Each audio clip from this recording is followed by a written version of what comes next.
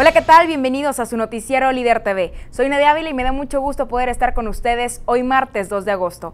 ¿Qué les parece si empezamos con la información más precisa y oportuna del día de hoy?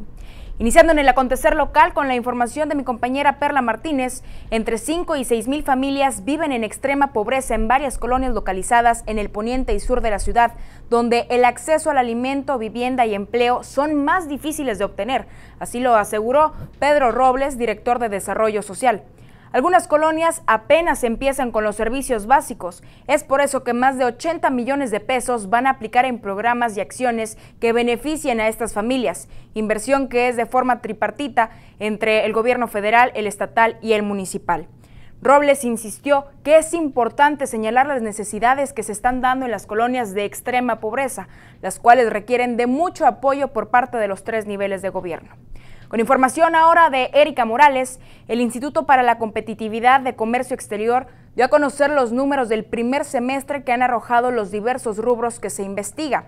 Daniel Covarrubias, director general del instituto, explicó que en materia de comercio exterior se ha visto que a lo largo de este año en los aforos de exportación del puente comercio mundial se ha visto un repunte de un 12% a comparación del año pasado. Los movimientos de exportación siguen teniendo un índice de crecimiento a pesar de la situación de economía que se vive mundialmente. Agregó que ha crecido los aforos de exportación, que todos los meses hasta junio hubo un incremento en comparación del año pasado y esperan cerrar este 2011 con buenos números que beneficien la economía de la ciudad. Para nosotros es muy importante que nos hagan llegar sus opiniones, así que estaremos esperando sus llamadas en la línea líder. El número es el 711-2222 o bien estamos en las redes sociales. En Facebook nuestro usuario es Líder Laredo y en Twitter nos va a encontrar como líder-web. Continuando ahora con la información de Víctor Quintero. Acceso a la atención médica y un servicio más rápido son las virtudes que se auguran para cuando se finalice la construcción del nuevo edificio del Centro de Salud y la Jurisdicción Sanitaria número 5. Benjamín Galván Gómez señaló que las obras llevan un avance de entre un 70 y 80%, esperando concluir en el año en curso. Con una inversión cercana a los 44 millones de pesos, la primera autoridad de Nuevo Laredo, acompañado por el jefe de la jurisdicción sanitaria, Jaime Emilio Gutiérrez Serrano, recorrieron los trabajos que se encuentran ubicados en la colonia La Fe, que tendrá la oportunidad de recibir personas del poniente y centro de la ciudad. Dichos trabajos comprenden únicamente una primera fase de construcción, donde en la segunda inversión serán las acciones para equipar todo el edificio para finalmente realizar el cambio de las oficinas e iniciar a brindar la atención médica. Siguiendo con más información de Perla Martínez, alrededor de 150 niños por mes están siendo registrados en el módulo del registro civil que se encuentra instalado en el hospital de zona número 11 del Instituto del Seguro Social para que los recién nacidos salgan del hospital con su acta y así evitar el rezago en registros de nacimientos en la ciudad. Así lo aseguró Fernando Castillo Villarreal, titular de la Oficialía Segunda. Señaló que con estas medidas se evitará que siga creciendo el número de gente que nunca se registró y que el día de mañana tengan problemas legales como no poder justificar que son hijos de determinada persona o no tener derecho a una pensión alimenticia.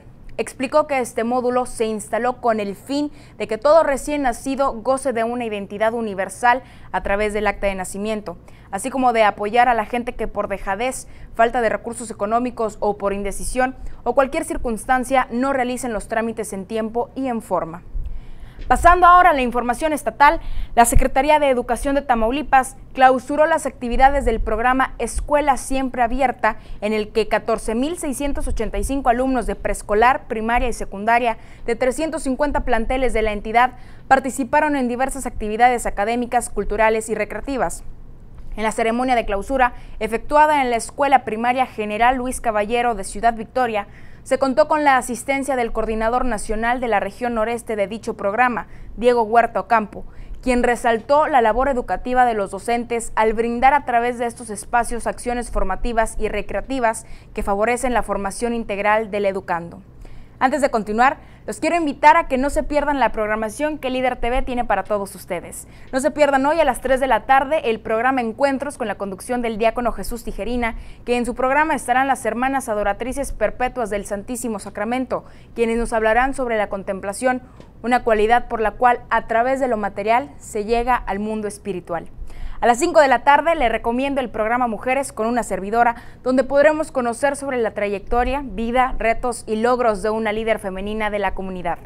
Estos y el resto de nuestros programas los puede ver a través de nuestro canal en Ustream, el cual es Líder Informativo TV, o bien a través de nuestro portal www.liderinformativo.com.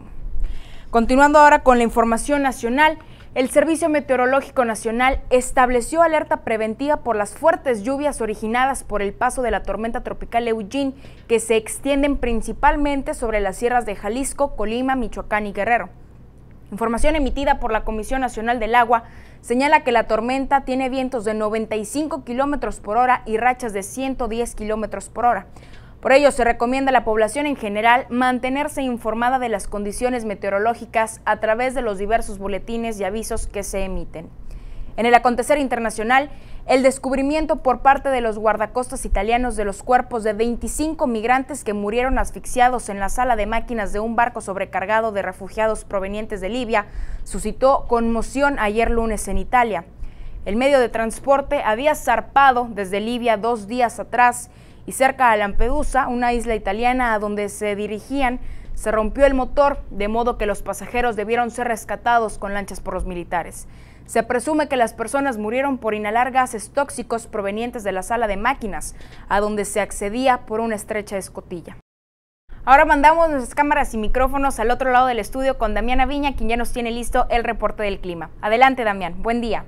Muchas gracias Nadia, bienvenidos al pronóstico del tiempo, ya estamos a martes 2 de agosto y comenzamos la información meteorológica para ambos laredos. Se presenta una temperatura máxima de 42 grados centígrados y una mínima de 27 grados centígrados. Las temperaturas oscilarán de 107 grados Fahrenheit y 80 en la escala Fahrenheit. Para hoy esperamos un cielo mayormente soleado y por la noche esperamos un cielo mayormente nublado. Esto es todo por hoy en la información climatológica. Nadia, regresamos contigo. Muchas gracias Damián por toda tu información. Ahora vamos a conocer la información deportiva con Alma Blanco. Alma, ¿qué nos tienes para hoy? Hola, ¿qué tal Nadia? Te saludo con muchísimo gusto el día de hoy, igual a todos nuestros amigos que nos siguen a través de Líder TV. El día de hoy esta es la información en los deportes. Con la información de Diego Reyes en la información local, entra Bravos en la recta final de su pretemporada. Luego de una larga gira por el Bajío, donde cosecharon tres victorias de los cuatro juegos que estuvieron disputando, Bravos ha regresado a la ciudad de Nuevo Laredo para seguir con los entrenamientos en la Unidad Deportiva Benito Juárez. Al finalizar esta primera travesía de pretemporada, ellos se están preparando para dar inicio este próximo 12 de agosto con la apertura 2011 ante un duelo tamaulipeco que será entre Tampico Madero y Bravos, el equipo de esta ciudad.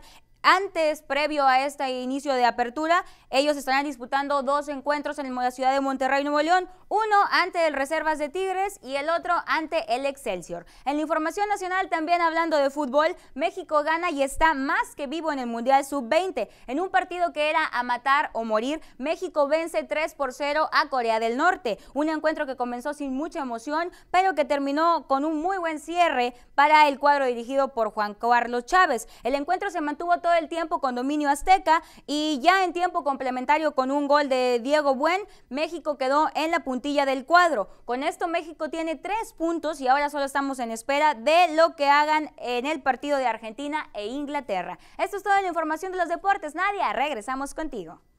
Gracias Alma por tu información. Así que hemos llegado con las noticias del día de hoy. Yo soy Nadia Ávila y los espero mañana con la información más precisa y oportuna. Hasta la próxima.